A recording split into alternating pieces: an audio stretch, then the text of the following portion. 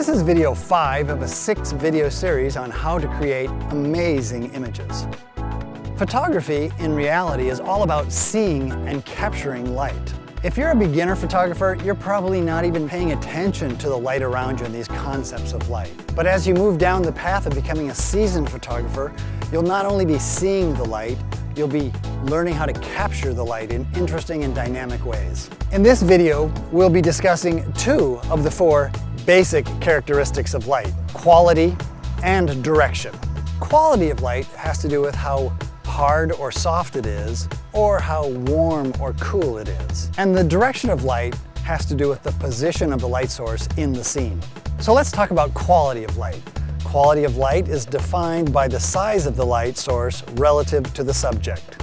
Hard light produces harsh, hard-edged shadows. Hard lighting occurs when you have a concentrated light source, again, like a flashlight or a spotlight or headlights on a car. In this image of a dog on a, a bright evening, this is an example of some harsh lighting. You see that shadow over to the left-hand side. The sun is obviously in the right-hand side of, of the poor dog.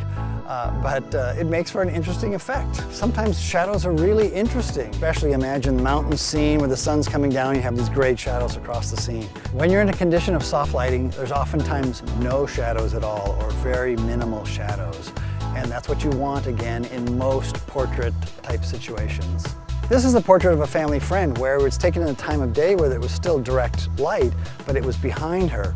And we used a reflector in front of her to fill her face. So now you see the lighting around her head. It's a beautiful uh, hair lighting or that heavenly glow behind her, but then her face is just perfectly uh, lit in front of her. And that's a, a great example of still soft lighting in a relatively harsh condition. Soft lighting sometimes isn't just great for portraits. You can imagine a walk in the woods where the trees are covering you and that produces a nice soft lighting effect where you still might see a glimmer of the sun shining through the trees or the canopy or something so you get some interesting light but it's still in general pretty shadowed and pretty soft. Keep in mind, one form of lighting isn't necessarily better than any other form of lighting. The real point here is pay attention to your lighting and pay attention to the type of shot you're trying to capture and go find the lighting that's appropriate for that scene. So when we're talking about the quality of light, we also need to talk about the color temperature. Color temperature is an indication of if your light source is a warm light, kind of a yellow tone, or cold light, which is a bluish tone. We can break all this down technically, but we'll save it for another lesson down the road. Here's an example of cold light. You may have seen this image before. It's uh, from Minneapolis. It's during the blue hour. So the sun has already come down.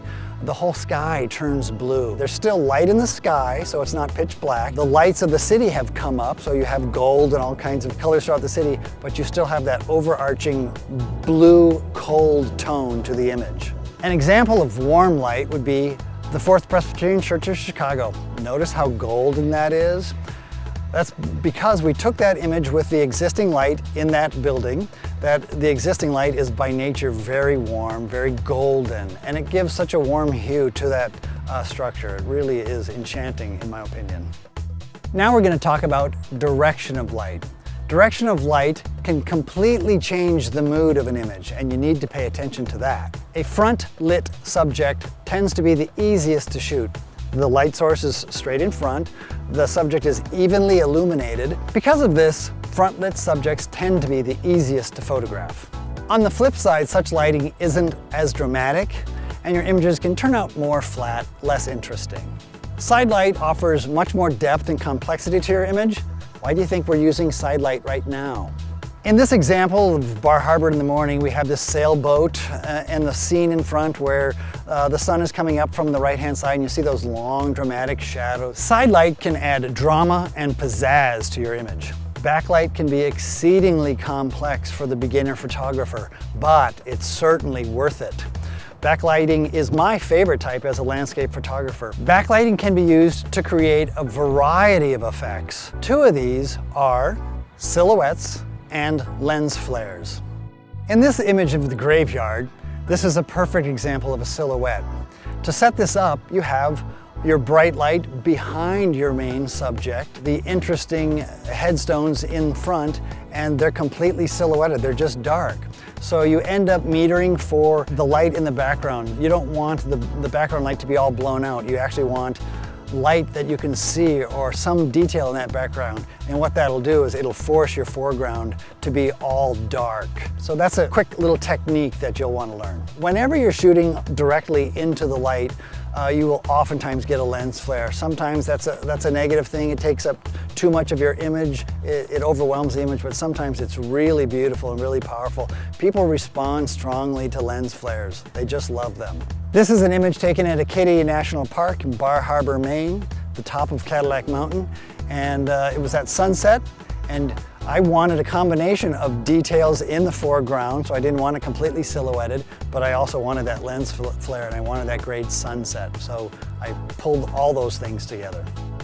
So whether you're working with side light, front light, back light, the direction of light is incredibly important for your images. So work on both understanding how to manage it and when you would want to use it.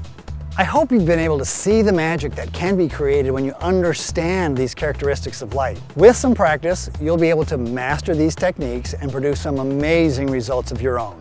If you like this video and any of our other videos, be sure to subscribe to our channel, leave a comment, share it with your friends, and post it on your social media. Be sure to catch our next video, part two of lighting. And until next time, get out and capture the adventure.